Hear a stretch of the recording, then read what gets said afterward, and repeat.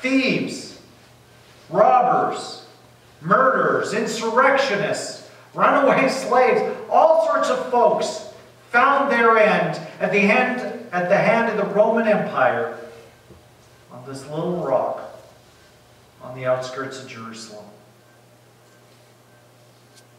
But of all of those who died there, only one of them changes our lives today. The one who was crucified there, that was guilty of nothing, is the one that has affected all kinds of people today. Max Lucado, in his book In the Grip of Grace, tells the story of uh, being cut off from his insurance company because of one too many tickets and accidents. Can you imagine that, getting this uh, letter in the mail saying that, uh, sorry, your driving record speaks for itself. We can no longer insure you. You cause a problem for our company. You are too big of a risk for the other insurers. And I'm looking around the room just to make sure that I don't see any guilty smiles that somebody here can identify with. I'm not seeing anybody. That's good. Maybe nobody here has been cut off from too many accidents.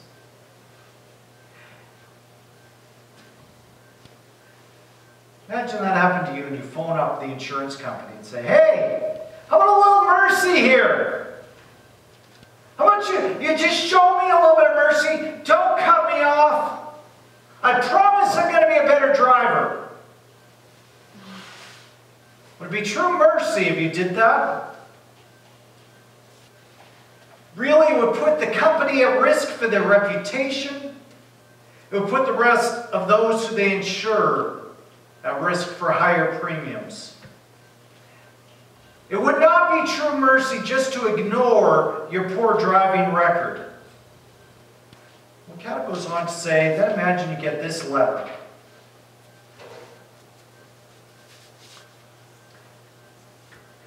We have found a way to deal with your mistakes.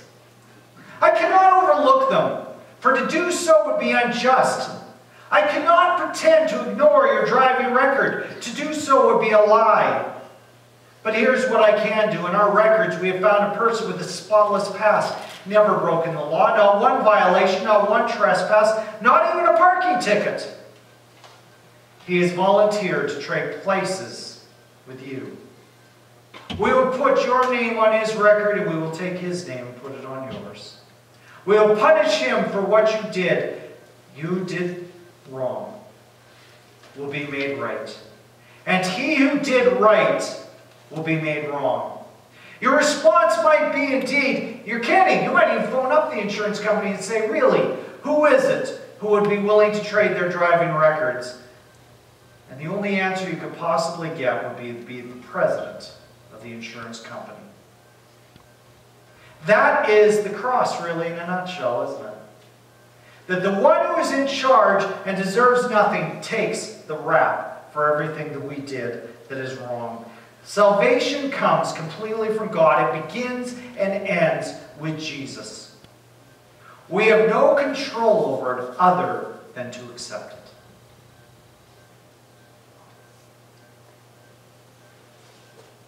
Psalms 23 is a familiar refrain in the sixth verse. Surely goodness and, and get, next word gets translated a few different ways, but surely goodness and merciful love, an overwhelming merciful love. Surely goodness and mercy will follow us in the English all the days of our life, but that's not what it says in the Hebrew. It says love, this loving mercy, this goodness, they're going to chase us. And in the context of it, it's a, it's a written about shepherds, right? I've said this in church oh, a number of years ago now, but it's a shepherd's song, right? And in the context there, it's the idea that goodness and love are like the sheepdogs that chase after the wayward sheep. They pursue them. They pursue the sheep and try to bring them back into the fold, bring them back to a place of safety. And the sheep may not always appreciate the sheepdog. The sheep may not even like the sheepdog. At times, the sheep may not be happy in any way with the sheepdog, but that doesn't mean the sheepdog are going to back off. That's how love and mercy from God are. They chase us down, even when we're not looking sheep may not understand even what the sheepdog's doing. Sometimes they may even hate the sheepdog. But they keep coming. I'm going to promise you the love of God, the mercy of God, the goodness of God. That's what the cross is all about. Pilate condemns Jesus. He hands him over for torture and execution. The soldiers mock him. They respond to his love and to his kingship with, and his power with mockery. And two weeks ago, last time we were remarked, we said that they're either we either accept him as king or we hold him in mockery. What does accept? There's a gentleman by the name of Simon who describes the father Rufus and Alexander. He's from a city called Cyrene in modern day Libya. Clearly, by the way the Mark and the other gospel writers discuss him, he is clearly, and his sons clearly, are known to the early church. They knew who he was. Jesus being paraded as a broken man through the streets of Jerusalem. He collapses, they grab Simon, and he sees through this broken man to see a king who's willing to do for him, everything for him. We're coming to a really hard sermon the next couple of times we're in Mark. Today and the next few. It's hard to be, tell a lot of jokes and things like that. It's one of those moments where we just need to be a little somber. To know this story that we know so well in a fresh light. We're going to look at three different individuals and groups who speak to us despite a familiar story. This is the most serious story ever told in history, and yet, in a very odd way, it is also the most joyous. Very sad, and yet should leave us with great joy and hope. The first few verses, we find this true king who some mock who some follow. We're not going to walk through the horrors of the death of the resurrection, but we see Jesus brought to the place of the skull. A place on the outskirts of Jerusalem that we think is this spot. I'm not absolutely positive. Um, if I was to show the full picture, and I found several examples of this, what you would mostly see surrounding this hill today seem to be tour buses. Go figure. I cut that out of the picture. People flock there. See this place where we think Jesus died.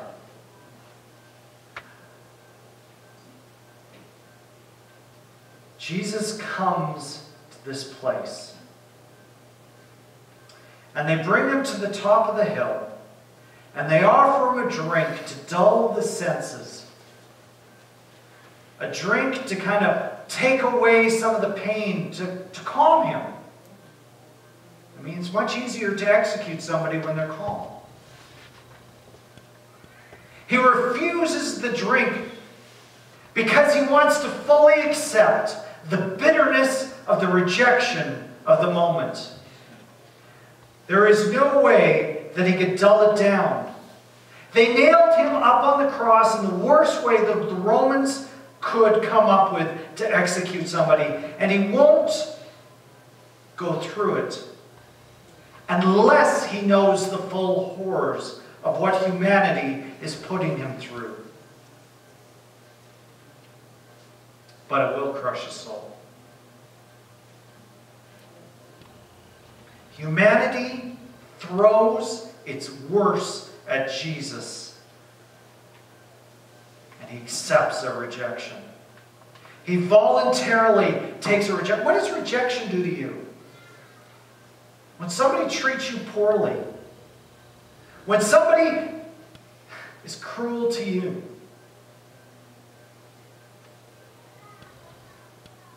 do something nice in return? Most of us, when, when we have when we have somebody act that way, we don't, we don't tend to embrace the rejection, but Jesus, in his full humanity, embraces the rejection of him as king. He pulls the rejection into his very soul. And he's happy to take the rejection of humanity for one reason, so that we are accepted by God. We often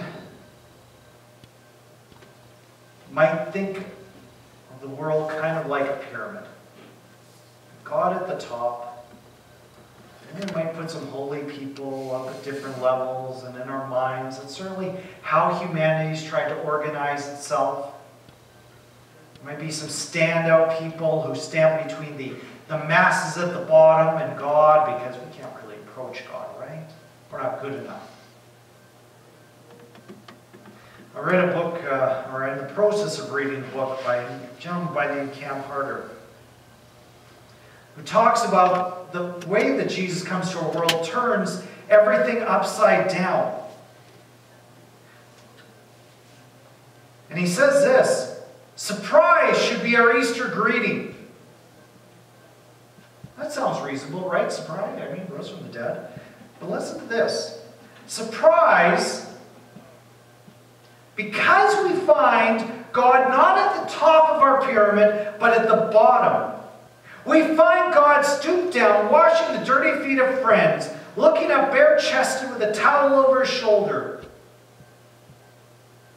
This one, Paul says, did not count equality with God a thing to reach for, to cling to, but emptied himself, taking the form of a slave, becoming subject even to death even death on a cross. In other words, the surprise of Easter is not that God is risen from the dead.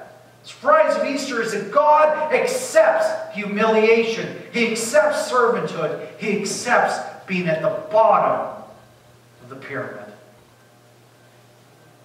God came to us in the form of Jesus to fully take on all suffering so that we might have a relationship with God. And in this story, we're going to find two sinners. Jesus in the company of two people, one on either side. You may remember a little early in the story. Jesus on trial. And the Romans have this tradition where they release somebody at the Passover as some form of mercy. I don't know how releasing a murderer is really mercy, but anyways, they do that. And there's a whole ton of people there, whole crowd of people clamoring that this gentleman, Barabbas, be released. Well, Jesus hangs there with two other people. There's two other people on. Where were these guys' supporters? Didn't these guys have anybody standing before Pilate saying, No, release our friend? Release the guy we work with. Release our relative. Apparently, these guys had nobody. Jesus in the company of these two who have been completely rejected by humanity, just like he has. Mark skips a detail. Luke picks it up. It's a choice. They both join in the mockery of Jesus, but as they're watching, one of them obviously has some knowledge previously of who this man is. And one of them makes a choice and calls out, Why are we mocking him? And he looks over at Jesus and asks him to bring him into his kingdom. They're both on death's door, yet he knows somehow this is the one guy who gets his kingdom is spiritual? You almost have to be rejected to understand Jesus' rejection. He's the one who gets it. You got through tough time? Do you know what? Sometimes we don't we, we may look around and wonder, hey, God, everything's going wrong. Where are you But we open ourselves up to Jesus and we do look at him. It's in those moments where it is toughest that we can find him the best and understand who he is. The yes, it, it, it's his kingdom. Remember me in your kingdom. Some look and see no value in this suffering man on the cross, and they miss the point. What is the good of a king who does not demand majesty, but instead is willing to sacrifice and takes the cross, or takes the thief on a cross beside him to look over and get it? I'm going to be dead soon. Can I be in your kingdom?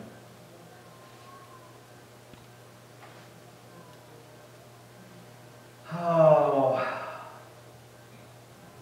But as much as that's happening, there is still the mockers standing around. Eh. He was going to destroy the temple. And then he's going to rebuild it. And there he is up on a cross. So, uh, you, you, you certainly did get a hammer there, Jesus. Not the way you kind of meant it. You're not rebuilding nothing. Huh. You're really of God. You save people. Why don't you come down off that cross? Yourself. Come down. The cross, sometimes we have images, if you watch some films or you look at pictures of the cross being like 10 feet up in the air or something like that. That's probably not how it was. They wouldn't have wasted a lot of wood on criminals. Jesus probably at best a couple of inches higher off the ground. In other words, if you've got somebody who's a little bit taller, they may have been a face level. They're able to get right in his face and mock him. It's not like they're from a great distance. They're right in his face, laughing at him. They got it right, though. He is allowing the temple to be destroyed because he is the temple of God. He's allowing it to be destroyed. He will recreate it. He will rebuild it. But they don't have a right. My family first started going to church when I was a kid. I remember being in a Sunday school class where we talked about this passage. One of the first times I went, one of the kids said, well, how come he didn't just come off the cross, show himself, and then get back up? I remember thinking, hey, that would have been a great idea. Why didn't he do that? William Booth, the founder of the Salvation Army, said this We believe because he did not come down. Why not? He needed to be despised and rejected he was not out to prove a point, he was out to suffer. Jesus came as love. And you know what? If he had come down the cross just to prove a point, just to kind of show off a little, you know, his love would have had a limit. Sometimes we have limits to love. We have to prove ourselves to somebody, that's a limit. Well, yeah, I love you, but uh, you're wrong, and I'm going to show you. It's not really love, is it? Jesus, Jesus isn't to show off. He's not to prove himself. That's not his goal. His love has no limit. There would have been a limit if Jesus had gone off to prove himself. One author I read this week said, But Jesus went the whole way and died on the cross, and this means that here, or that there, is literally no limit to God's love. That there is nothing in all the universe which that love is not prepared to suffer for humanity. That there is nothing, not even death on a cross, for which the love of Jesus will refuse to bear. when we look at the cross, Jesus saying to us, God loves you like that. With a love that is limitless, a love that will bear every suffering earth has to offer. Why did he not come down? He did not come down because he loves you that much. That's how much he loves you. That he, he was willing to put up with people mocking him right to his face. That he was willing to set aside his own ambitions, his own need to be appreciated. Just to show you that he loves you. His love knows no limits. Sometimes we can call Jesus King, and they're just meaningless words. Fortunately, at different times in history, the church has acted that way. Certainly, many Christians have acted that way. We can worship him. We can put up fancy signs like Pilate did, uh, King of the Jews. Really said it didn't really make a difference. When we do that, we treat him like with mockery. But you know, he is the king willing to suffer. One we follow because he is more than worthy, because he has limitless love. You know, sometimes we can hear this message too often. Sometimes we can sit in church for too long and that message doesn't penetrate our heart the way it should. We need to continually come back to the cross, to come to this place of suffering, and to recognize again it is because He loved me. And because He loved me, I follow Him as King. And I recognize that He is King, and I treat Him like that in every aspect of my life. That's going to lead us to our concluding hymn. There is only one way to really follow Jesus. He's either king or he isn't. And if he's king, we trust him. We obey him. I want to follow along in the hymn books. It's hymn number 546.